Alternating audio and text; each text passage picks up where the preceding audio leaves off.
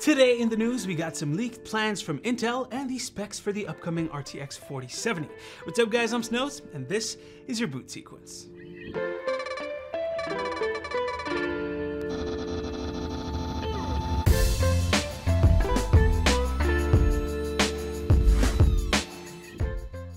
Let's get started with Intel. So a couple of videos ago, I took some rumors that were here and there that were floating around about Intel's plans for 2023.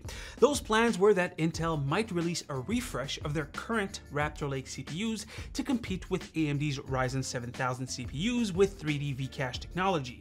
This would mean that for the first time, Intel would have a pseudo third generation for a motherboard platform. Usually, Intel only releases CPUs for two generations of motherboards. The leaks said that the new stack would have about 100 to 200 MHz higher clock speeds and would launch in Q3 or late 2023. I also theorized that on top of that 100 to 200 MHz higher clock speed, Intel would actually use DLVR. DLVR, once again, is a power management technology built into Raptor Lake that can improve the CPU's efficiency by quite a lot, something like 20%. It's built into the current Raptor Lake, but Intel actually fused it out for the current 13th gen CPUs.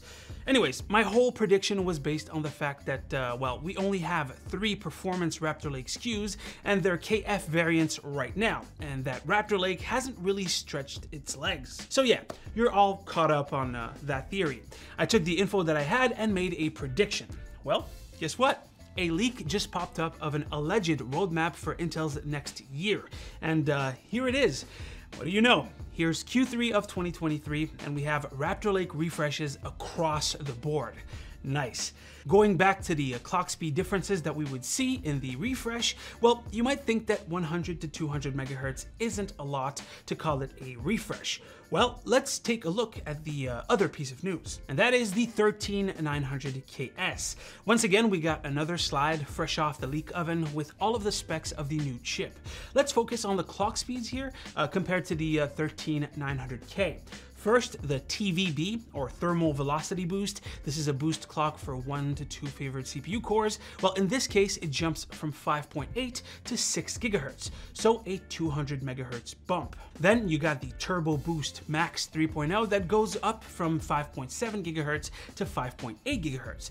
And after that, nothing. There's nothing really that changed. Not the all-core boost clocks, not the E-core boost clocks. I mean, sure, the P-core base clock goes up slightly, but it's not that important, if you have sufficient cooling at least. So yeah, a very minor boost in the clock speeds. So what about the performance difference? Well, the CPU was caught by BenchLeaks, a Twitter user, on the Geekbench leaderboards. If we look at the uh, single-threaded workloads, the performance uplift that we're seeing is about 4% compared to the 13900K.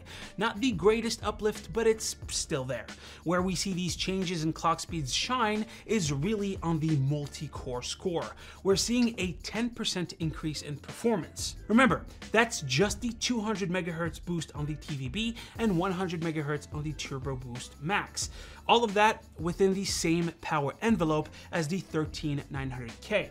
Sure, the base power is up, but while at full load, there shouldn't be a difference. So what are your thoughts on all of these Intel news? I mean, do you think that the refresh will be enough to compete with 3D V-Cache Ryzen?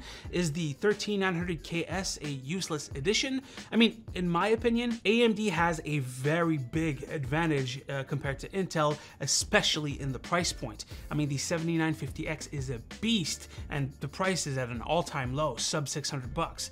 Let me know your thoughts down below. Moving on, let's talk about NVIDIA.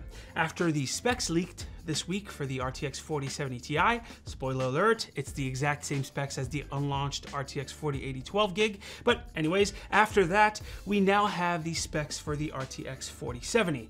And uh, it's not that great. This information comes from leaker extraordinaire Kopite7Kimi, and according to his sources, this GPU will keep a lot of the same specs as the 4070 Ti. That's the good part.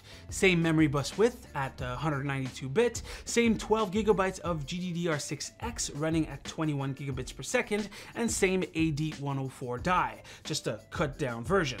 Now, how cut down? Well, we're looking at 46 SMs for the 4070 compared to 60 SMs for the 4070 Ti. This means that the 4070 would have 5,888 CUDA cores compared to the 7,680 on the Ti model. So it was cut down by about 23%. And given that the memory subsystem is the same, we should expect about the same decrease in performance. I'm a little confused here though with the 5,888 CUDA cores. That's the exact same amount as the RTX 3070 from the last generation. Now, of course, there are a lot of architectural changes and the cache in Ada Lovelace is also way bigger. And I have no doubt that this GPU will perform better than the 3070. But with the price creeps that we're seeing, I hope that we won't see another 4080 situation where the performance increase basically matches the price increase and all we get that's better is, I don't know, the frame GIF generator from NVIDIA. Anyways, guys, that is pretty much it for the catch up. Hopefully you've enjoyed. Drop a like if you liked it, a comment if you want to talk about today's stories. As usual, you can click right here to see the latest video right here to subscribe to the channel. Stay frosty, my dudes, and I'll see you on the next one. Take care. Ah, no, no, no, no. I, I got a cut on my finger and my thumb hurts, but okay, anyways. Ow.